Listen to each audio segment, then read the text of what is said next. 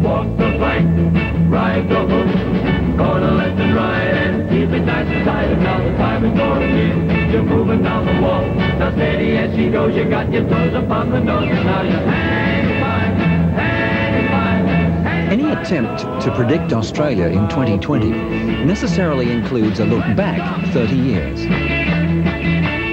Back to the sensational 60s, when the mining boom flooded this country with capital and our standard of living was unparalleled.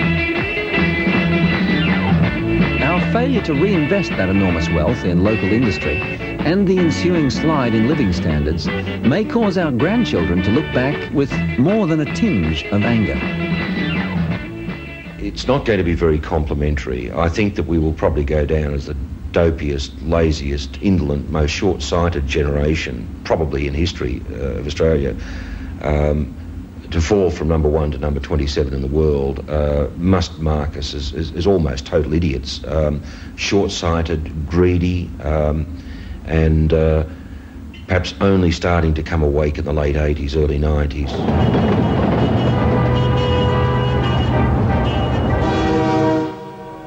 We were once a country that depended heavily on selling our natural resources and the products of agriculture overseas. Australians lived off the sheep's back with an attitude that a strong back and a thick head would see you through. An attitude captured in the old saying, she'll be right, mate. But she's not right. In fact, she's a long way from it. We continue the way we're going at the moment, we're heading for a disaster. Generally, the standard of living will go down to where you'll be eating bread and jam again. Or dripping. That's what we're going back to. We've allowed important Australian developed technology to slip through our fingers. And following it is the finest natural resource we have. About a year ago, I recall at the University of New South Wales, where I teach, uh, at a graduation, five of the PhD students in chemistry weren't, even around in Australia long enough to pick up their degrees. Each one of those students had cost the Australian taxpayer about half a million dollars in terms of their training. We had lost them to overseas companies, to overseas research institutes, because we couldn't offer them jobs.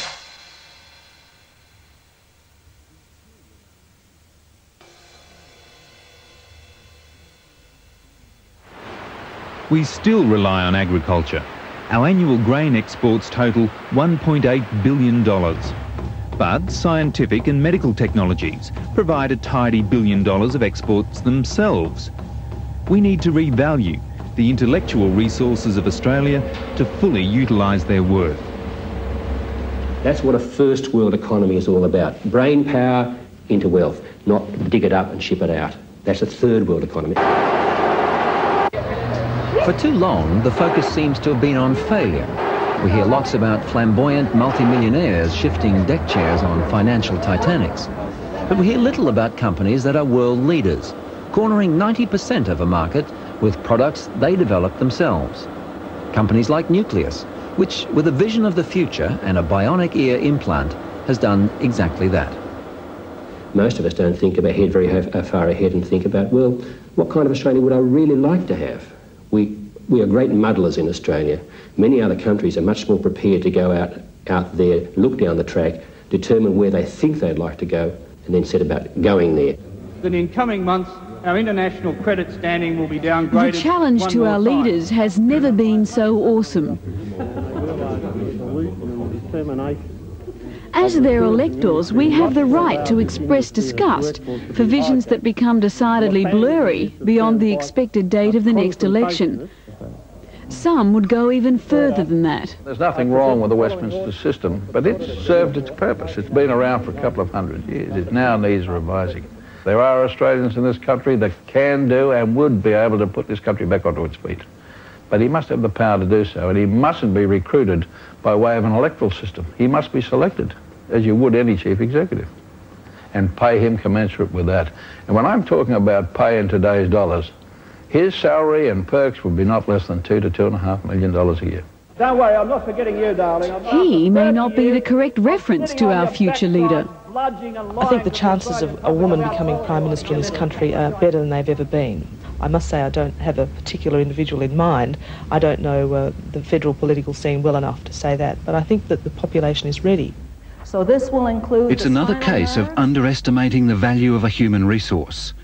In a country where there is only questionable support for children, families and working mothers, there are still formidable barriers between women and the workforce one of the opportunities I think that really is beginning to emerge now is for women to participate in science, in technology and the world of business to a greater extent.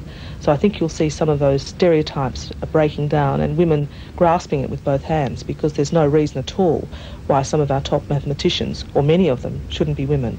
Some of the people at the cutting edge of technology shouldn't be women. But the most disadvantaged people in Australia are Aborigines two centuries of treatment as second-class citizens is embedded in their psyche.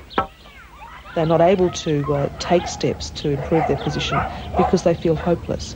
So the resurgence of Aboriginality, if you like, I think is a really positive sign. On Bathurst Island, off Darwin, that resurgence has been most evident in the arts.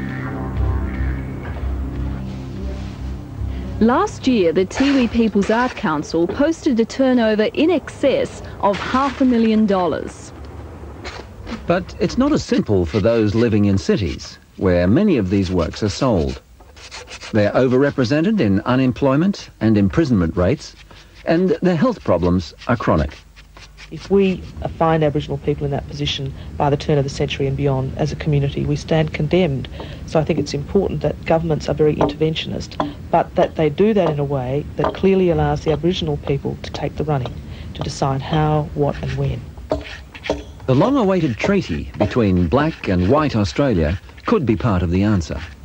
A treaty is going to definitely happen, uh, and Aboriginal people have to make that happen.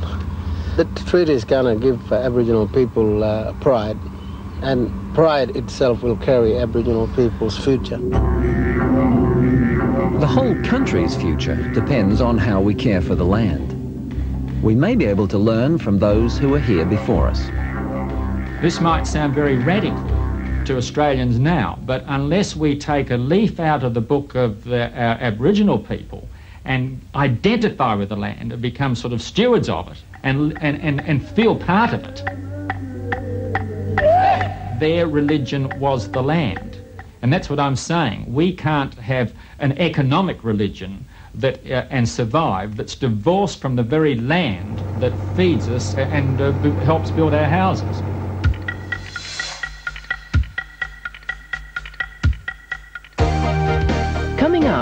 Super sheep will be shearing them several times a year by 2020.